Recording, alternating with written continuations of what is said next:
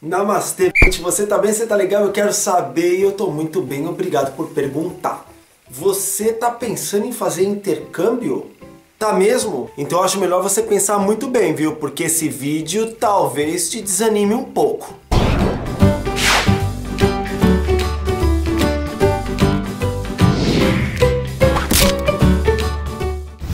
Namastê de novo, Pois é, esse vídeo é sobre intercâmbio. Então tá, Emerson, quais são os motivos que a pessoa tem que pensar para não fazer um intercâmbio? Primeiro motivo, você vai ter que aprender uma nova língua. Gente, vamos falar a verdade? Aprender uma nova língua não é fácil. Você tem que aprender tudo novo. Pensar numa nova gramática, parar de tentar traduzir ipsis lipsis e quando você aprende uma nova língua, você aumenta sua possibilidade de comunicação, você melhora o seu currículo, você melhora tanta coisa. Então, para que aprender uma outra língua, não é? Motivo número 2. Você vai ter que comer coisas que você nem sabia que existiam. Será que é tão bom assim a gente estar experimentando sabores novos, comidas novas, texturas novas? Pra quê, né? Por que não ficar só no arroz com feijão, naquele macarrão com aquele molho, naquela pizza de sempre? Para que mudar? Olha, você quando viaja para outro país, eu particularmente quando eu vim para a Austrália, eu tive que experimentar coisas que, olha, pavlova, que é um bolo de chantilly, que é uma delícia. Tive que experimentar lamington, tive que aprender a comer churrasco de uma forma diferente, enfim, tanta coisa mudou. Então se você não quer mudar o seu paladar, foge do intercâmbio, tá? Motivo número 3. Você vai ter que se adaptar a uma nova cultura. Você pensa que se adaptar a uma nova cultura é uma coisa fácil? Não é não. Ah. Você pensa que conhecer culturas diferentes, pessoas diferentes, hábitos diferentes é uma coisa normal? Não é não. Não é. É difícil, é complicado. Mas pro meu ponto de vista, Apesar de tudo, eu acho que eu saí ganhando muito com isso. Mas será que você realmente quer conhecer uma nova cultura? Será que você realmente quer abrir um pouquinho mais a sua mente, o seu campo de visão? Será que é isso que você está procurando? Se não for, já falei antes, fuja! Fuja de intercâmbio! Motivo número 4. Você vai perceber que o mundo é muito maior do que o quintal da sua casa. Ah, Emerson, mas então você já está usando de analogias, está difícil de entender. O mundo é muito muito mais do que isso que você conhece. O mundo não se resume simplesmente ao que você pode ver. Existe um mundão lá fora onde tudo é diferente, onde as pessoas pensam de forma diferente, onde as coisas acontecem de forma diferente, em tempos diferentes. Enfim, tudo é muito diferente do que você jamais pôde imaginar em toda a sua vida. Então, quando você vai fazer o intercâmbio, você tem que estar preparado para isso para saber que o mundo tem limites muito maiores do que você já está acostumado. E que, olha, você às vezes precisa transpor a barreira da cerca que você está acostumado a ver, porque do lado de lá, às vezes as coisas vão ser tão diferentes e tão esquisitas, mas o fato de saber que existe um mundão lá fora para explorar faz com que você se torne um aventureiro. E será que você está preparado para ser um aventureiro? Será que você está preparado para conhecer lugares diferentes, terras diferentes, gramados diferentes? É isso que você quer? Motivo número 5, e esse é um motivo difícil. Você vai sentir saudades da sua família. Ah, vai. Não tem como. Mas existe outro lado. Claro que quando você vai fazer um intercâmbio, existe toda aquela felicidade, toda aquela vontade, né, de ir para outro lugar. Mas aí como é que você faz quando bate a primeira depressão, quando bate aquela tristeza e você quer falar com sua família? Eles não estão perto. E aí se você é o tipo de pessoa que precisa estar grudado na barra da saia da sua mãe ou na barra da calça do seu papai, aí, meu querido, você vai sofrer sim, porque eles não vão estar por perto. Mas também hoje a gente não vive num mundo de tecnologia, né, onde existe internet, onde existe telefone, celular, essas coisas, então é praticamente impossível a gente se comunicar. Então o fato de fazer um intercâmbio não significa que você não vai estar em contato. Significa que o contato não vai ser físico, só vai ser virtual. Só que se você não souber lidar com isso, o intercâmbio vai se transformar num inferno para você.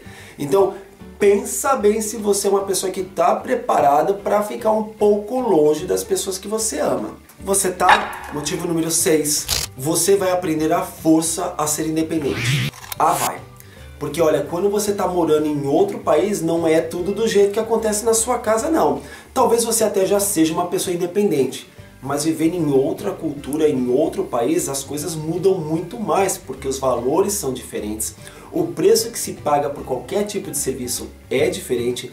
Então você vai aprender a força que você tem que pôr a mão na massa, arregaçar as mangas. Sim, e fazer o trabalho sujo, fazer aquilo que é necessário, ou seja, lavar a privada da sua casa, lavar a louça, lavar suas roupas, passar, virar uma pessoa engomadinha, mas pondo a mão na sujeira.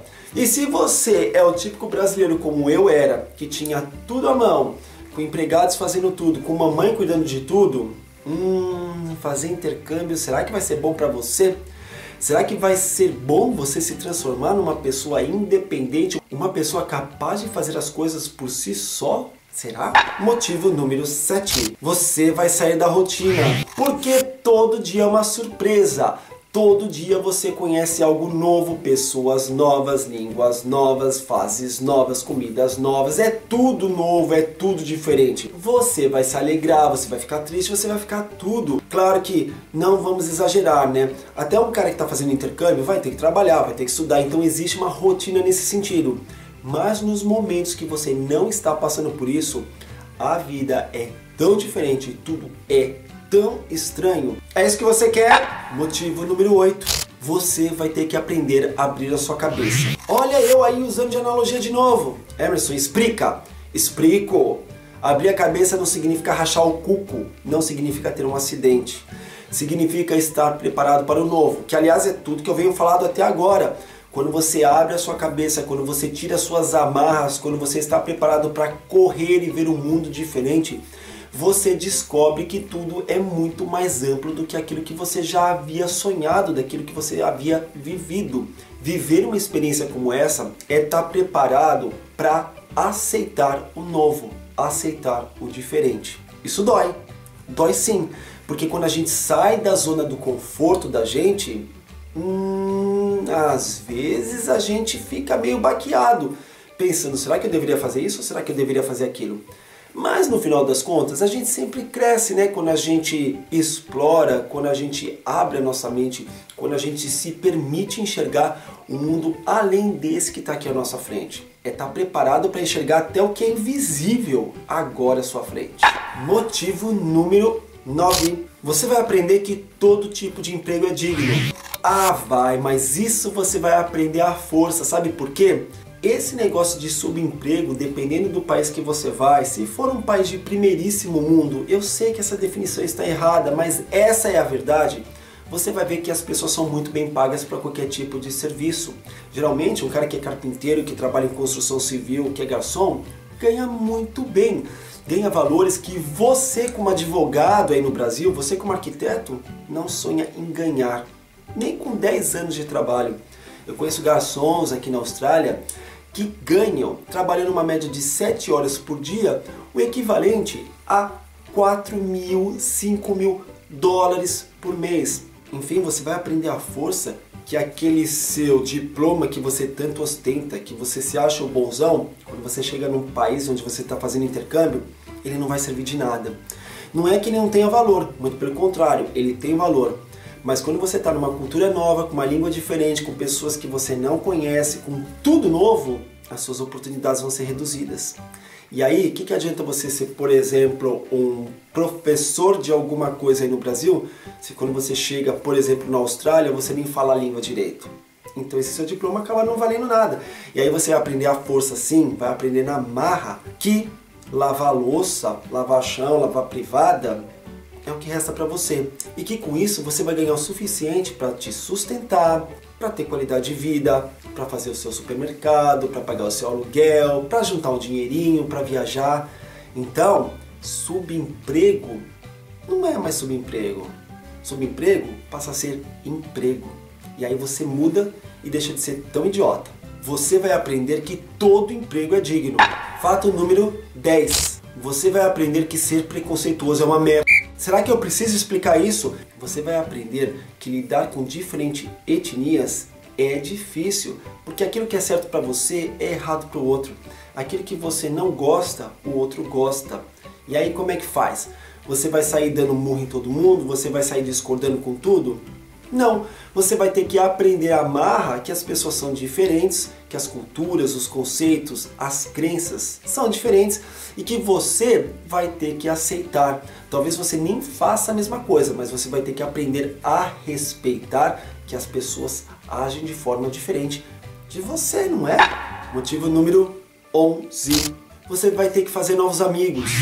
Gente, se você é aquele tipo de pessoa que quer ficar só ligado, conectado com seus amigos de infância, com seus amigos de colégio, você vai sofrer bastante, porque você vai para um novo país, onde você vai acabar encontrando um monte de gente nova, que não fala a sua língua, e que não fala nem a língua que você foi estudar, como é que a gente se abre para conhecer tanta gente bonita, tanta gente diferente, tanta gente tão rica em cultura, tanta gente tão rica em conhecimento. E olha, você sabia que você nem precisa abrir mão dos seus amigos? Os seus amigos face to face, eles só vão virar seus amigos virtuais por um período de tempo, enquanto você vai conhecer outros amigos que você vai conhecer cara a cara. Motivo número 12 esse é um motivo que, para falar a verdade, me machuca bastante e está muito ligado ao motivo número 11. Você vai ter que aprender a dar adeus aos amigos que você fez no novo país. Isso é uma das coisas mais chatas e uma das coisas que mais doem em qualquer intercambista. Sabe por quê? Você quando está num país novo, você está sozinho. E é normal você criar um vínculo com as novas pessoas que você conhece. Porque são pessoas geralmente, na sua grande maioria mesmo, que estão vivendo a mesma coisa que você. Só que eles têm a cabeça um pouco diferente, porque eles são de culturas diferentes. E você acaba gostando dessas pessoas, você acaba amando a forma como eles te apresentam o mundo. Você acaba vendo que o mundo tem filtros diferentes. É como se você colocasse novos óculos à sua frente e enxergasse o mundo em cores diferentes. E esses novos amigos trazem isso mas eles vão embora porque eles são intercambistas como você. Então, se você é o tipo de pessoa que sofre ao dizer adeus, você não é a melhor pessoa do mundo para fazer o intercâmbio, não. Mas você ainda tem a possibilidade de conhecer o país desse seu amigo. Quem sabe lá no futuro não fazer uma nova viagem e conhecer o país dele, do lado dele. E o décimo terceiro motivo, você talvez tenha que voltar para o seu país de origem. É, vai chegar uma hora que você vai ficar triste, eu acho, se você tiver gostado do seu intercâmbio. E aí você vai ter que voltar para o seu país. Vamos pensar que você mora no Brasil, veio para a Austrália, acabou o intercâmbio e vai ter que voltar para o Brasil? Tem gente que fica triste sim. Mas, canguru, vamos parar para pensar? Você vai estar tá voltando a ver a sua família, os seus amigos, você vai estar tá voltando a ver as pessoas que você ama, com uma forma diferente de enxergar o mundo um monte de coisa nova, com uma bagagem nova, uma bagagem que vai fazer com que você tenha crescido como ser humano. E olha, eu citei 13 motivos, existem mil, um milhão de motivos para você não fazer o intercâmbio. Mas vamos abrir a real. Quando você faz o intercâmbio, você melhora como ser humano em todos os sentidos. Você pode amar ou você pode odiar aquele intercâmbio mas o simples fato de ter tido contato com o novo, de ter experimentado alguma coisa que vai te mudar para sempre, vai te transformar numa pessoa que questiona um pouco mais, que não aceita tudo muito fácil, uma pessoa que está preparada para lutar, para ser melhor e para viver um mundo melhor. Eu sempre ouvi uma frase que eu mudei depois de fazer intercâmbio. A gente tem que deixar o um mundo melhor para os nossos filhos. E depois de fazer intercâmbio, eu mudei essa frase. A gente tem que deixar filhos melhores para o nosso mundo. E você faz isso quando você conhece o novo. Tá bom? Então é isso. Eu espero que você tenha gostado. Muito obrigado pela sua audiência e a gente se vê no próximo vídeo. Namastê. Tchau.